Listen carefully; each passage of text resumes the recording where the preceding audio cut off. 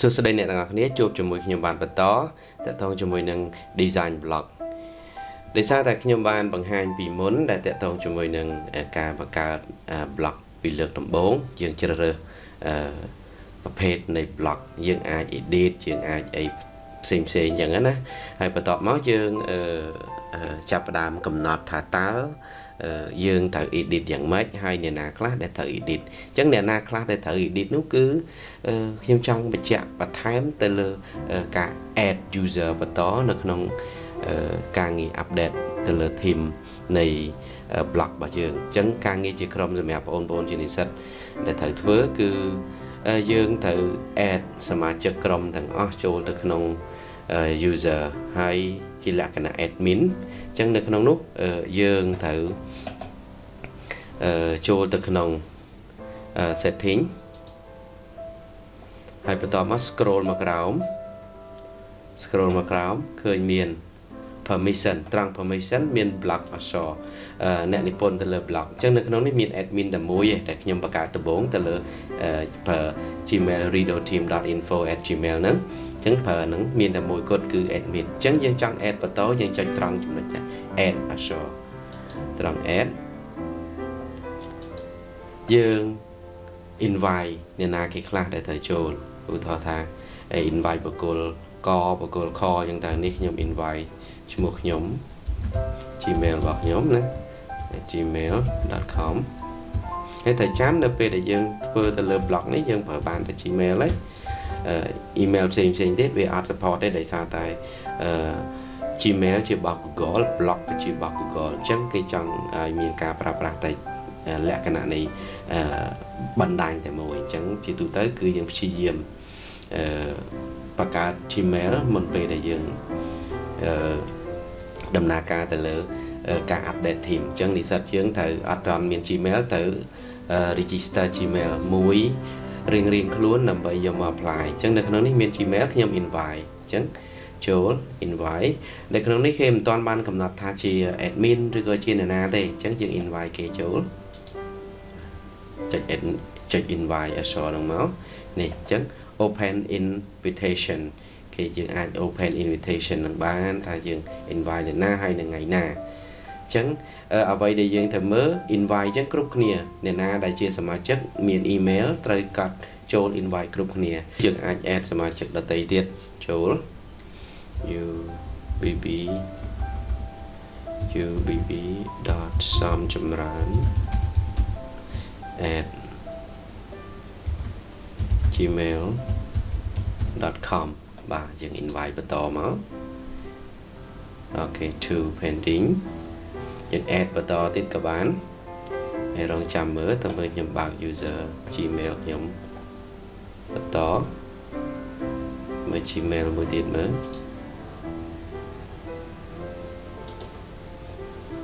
ចូលមក gmail វិញ gmail អូខេ UPP រងចាំមើលមើលមានមកខាងនេះទៀតនេះ Rap Souvenir Store you have invited អញ្ចឹងចូលមកហើយរួចបន្ទាប់ពីនោះមកយើងចូល accept វាចេះ load ទាំងថ្មីមកទៀតហើយបន្ទាប់ពីនោះមកយើង accept បន្តទៀតណាគេប្រាប់បន្ថែមនេះឈ្មោះ accept this invitation as សំចម្រើនហើយ UEP email ប៉ុណ្ណេះហើយ block title ឈ្មោះប៉ុណ្នេះហើយចាំតិចទៀតយើងនឹងដូរទៅលើឈ្មោះនេះឲ្យទៅជាឈ្មោះជាលក្ខណៈ unique ដូច URL នេះ block URL ណាបង្កើតឡើងនៅថ្ងៃម៉ានថ្ងៃម៉ាន expire នៅថ្ងៃម៉ានអូខេអញ្ចឹងយើងចុច accept expire នេះគឺ expire សម្រាប់ invitation រយៈពេល1ខែអញ្ចឹង1ខែបើសិនជាយើងអត់ confirm ទេវានឹង expire ហើយតែបើសិនជាយើង confirm ភ្លាមភ្លាមយើងអាចទទួលបានអញ្ចឹងយើងអាចទៅដំណើរការនៅក្នុងការ edit នៅក្នុង block បានអូខេចុច accept នេះនៅពេល accept វាចូលទៅលើ block នឹងតែម្ដងនេះ block អូខេខ្ញុំអត់កែលើនឹងទេឬក៏យើងអាចកែបានមានន័យថាពេលនេះគឺនៅក្នុង block នេះមានបុគ្គល2ដែលអាចកែបាននេះ បកុល2ដែលជានេះហើយណាហើយយើង refresh មក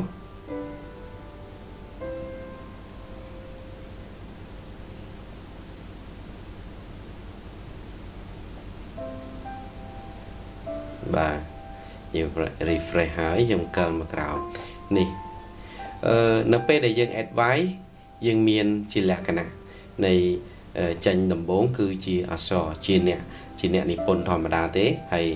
user ដំបូងគឺ admin នេះអក្សរយើងចុចមកឃើញ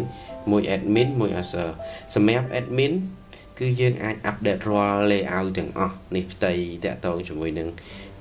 setting ហ្នឹងគឺយើងអាច edit បាន edit layout edit page អញ្ចឹងយើងចូលទៅមើល page នេះវិញនៅក្នុង page នេះនៅពេលដែលតួនាទីគាត់ជាអក្សរជាអ្នកនិពន្ធទេគាត់មានសិទ្ធិតែផុសទេអញ្ចឹងគាត់ចូលផុសហើយនឹង setting តិចតួចនេះ video management មានអីណា remove yourself from this block យើងអាច remove ខ្លួនឯងបានហើយមាន email មាន user setting តិចតួចទេហើយជា main point គឺយើងផុសអញ្ចឹងពេលចង់ផុសអីផ្សេងផ្សេងយើងចង់នេះហ្នឹងយើងចុចចូល new post អូខេចឹងចូលទៅក្នុង new post យើងអាច edit បានយើងអាចប៉ុសបានទៅលើខ្លឹមសារហើយអឺ សម្រាប់ពេលដែលយើងចង់ឲ្យคล้ายទៅជាបុគ្គលម្នាក់ដែលយើងអាច edit បានទាំងអស់ទាំង layout ទាំង everything ទៅក្នុង blog យើងដូរគាត់ទៅជា admin អញ្ចឹងចូលទៅក្នុង page user ដែលដំបូងបំផុតត្រង់ចំណុចនេះយើងកែគាត់ដាក់ថា admin បាទហើយ save អញ្ចឹងគាត់ខ្លាយទៅជា admin គាត់នឹងមានការផ្លាស់ប្ដូរគាត់អាចប្រើនេះបានដូចស្មើជាមួយនឹង Rap Souvenir Store នេះដំបូងដែរណាអញ្ ចឹងយើងចូលទៅមើលម្ដងទៀតយើង refresh វាមកបាទបន្ទាប់ពី refresh ពេលនេះគឺគាត់មានចាប់ផ្ដើមមាន តាំងពី page មានតាំងពី earning comment team layout setting ណាគាត់មានទាំងអស់ដូចស្មើគ្នាជាមួយនឹង user មុនអូខេអញ្ចឹងតកតងជាមួយនឹងអឺការដែលយើងបង្កើតឬក៏ថែមអ្នកនិពន្ធឬក៏អ្នក edit ទៅលើ blog របស់យើងឲ្យបានច្រើនអញ្ចឹងស្របពេលជាមួយយើងធ្វើការងារជាក្រុមសម្រាប់និស្សិតយើងគឺយើង add សមាជិកចូលឲ្យបានច្រើនមកគ្រប់សមាជិកទាំងអស់ដែលយើងបានចែកសិនចែក section របស់គ្នា ដែលគូប្រាប់ឲ្យថាយើងធ្វើជា road map ថាខ្លឹមសារណាខ្លះដែលអ្នកណាជាអ្នកទទួលខុសត្រូវគាត់ជាអ្នកធ្វើគាត់ជាអ្នក update ដោយខ្លួនឯងបាទហើយចំណុចមួយទៀតគឺយើងកែទៅលើឈ្មោះ គឺចូលទៅលើចំណុចមកវិញគឺ basic ទៅលើ title ណានៅក្នុងនេះអឺដោយសារតែ blog របស់យើង address គឺ Rap Souvenir Store ចឹងនៅក្នុងនេះយើងគួរតែដាក់ឈ្មោះថា Rap Souvenir Store ដែរចឹង R U P P Souvenir Store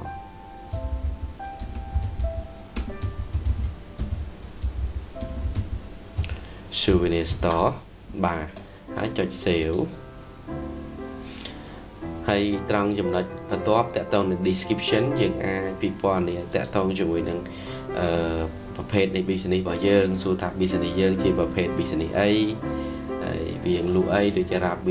rap souvenir store ហ្នឹងគាត់លក់អីខ្លះគាត់អីខ្លះយើងអាចរាយរាប់នៅក្នុងនេះ4 5 paragraph អឺ4 5 line អញ្ចឹងទៅណាក៏បានអូខេតើតើនឹងចំណុចប៉ុណ្ណេះ ហើយចំណុចបន្ទាប់ដែលខ្ញុំចង់បង្ហាញនោះគឺចុច save មក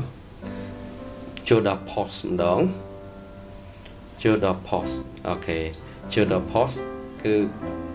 យើង post លើខ្លឹមសារទាំង lain ដែលយើងចង់បង្ហាញអឺអូខេចុច new post ចូលដល់ post ចុច new post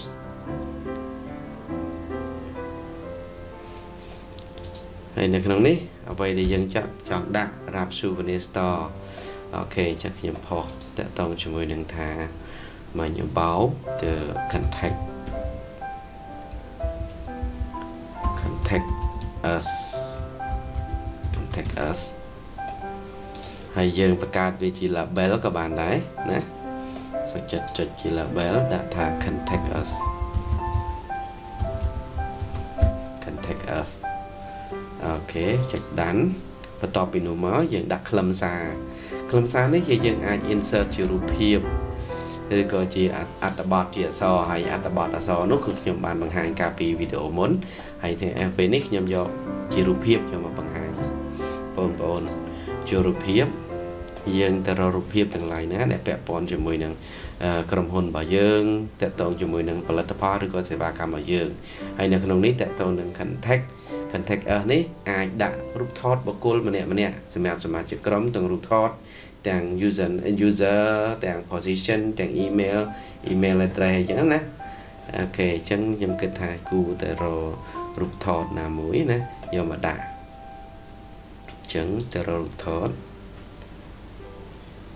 ទៅរករូបថតចូលរូបថត CV ចូលរូបថត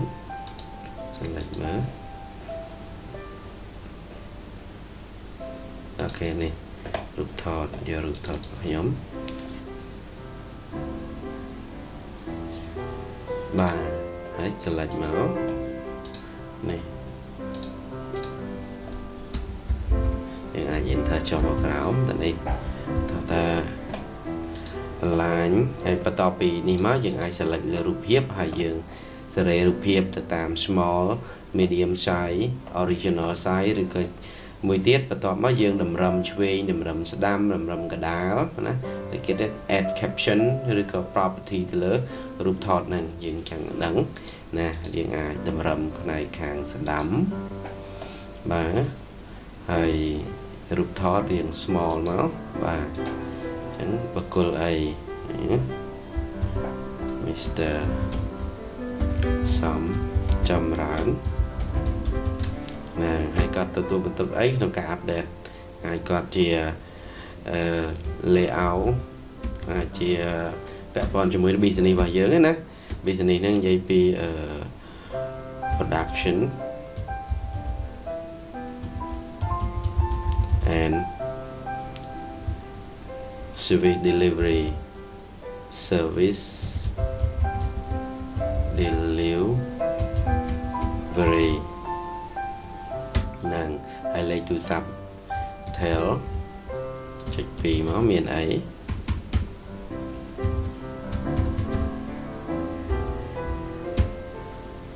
ពី0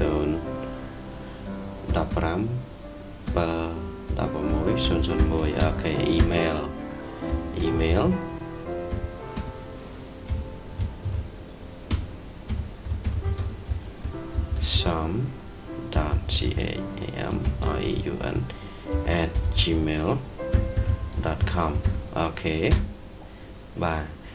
ជាចំណុចដែលយើងនេះយើងអាច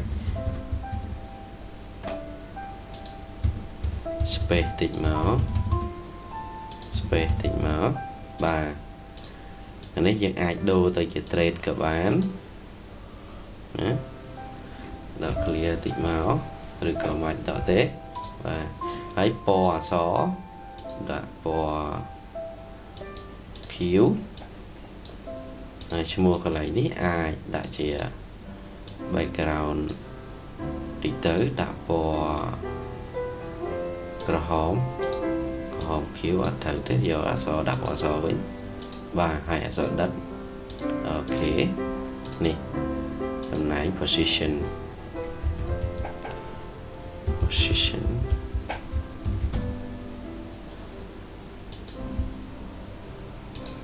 email ហើយ លេខទូរស័ព្ទ OK responsibility OK អញ្ចឹងរូបភាពអ្វីដែលយើងចង់ដាក់យើងអាច add បាននៅក្នុងហ្នឹង align original left center អញ្ចឹងទៅឬក៏រូបឲ្យធំតិចមកចូល medium បាទតែហ្នឹងរៀងស្អាតតិចអូខេយើងថែមអីផ្សេងផ្សេងក៏បានហើយនៅក្នុងការ edit នៅក្នុងការ edit គឺយើងអាចប្រើវិធីសាស្ត្រពីរទី1ផ្នែក composure ទី2ផ្នែក HTML អញ្ចឹងបើសិនជាយើងថាយើងចង់កែតាម HTML យើងចេះកូដយើងចេះអីយើងចូលចូល HTML នេះសិតតែជាកូដនេះ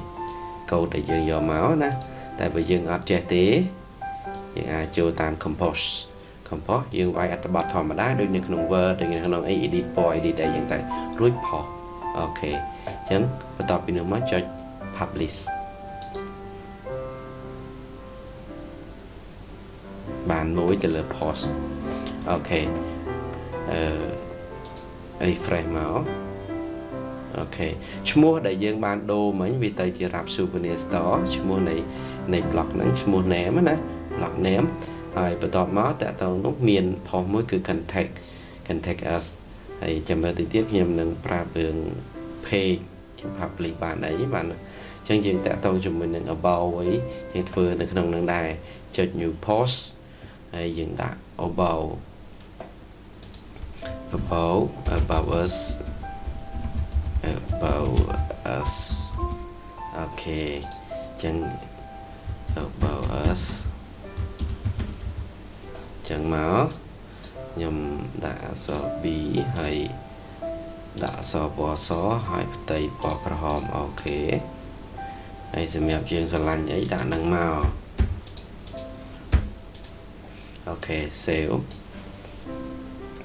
បាន page ច្បាស់អស់មួយ OK ហ្នឹងហើយអញ្ចឹងអឺ